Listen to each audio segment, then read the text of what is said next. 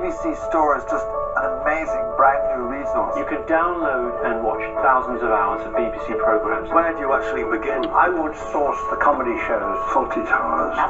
Oh, the good life. Ripping Yarns, which I was nuts about. Morecambe and Wise. Dakota Pub. The Office. League of Gentlemen. You're my wife now. The Young Ones. The Mighty Boosh. So many great documentaries. Wonders of the Solar System. Young Mr. Theroux. All the Attenborough stuff. The Voice of God, I like to believe. We haven't talked about children's. Something special. Horrible Histories is a big one. So much wonderful drama. Tess of the d'Urbervilles. Happy Valley was good, wasn't it? Cathy Come Home. The one about the detective. Sherlock. Oh, singing detective. Wolf Hall. Obviously, Doctor Who. The list goes on and on. They're adding programs that haven't been seen for years. There's so many There, right now, waiting for you. The best of the BBC to buy, download, and keep. BBC Store. Unmissable. Now ownable.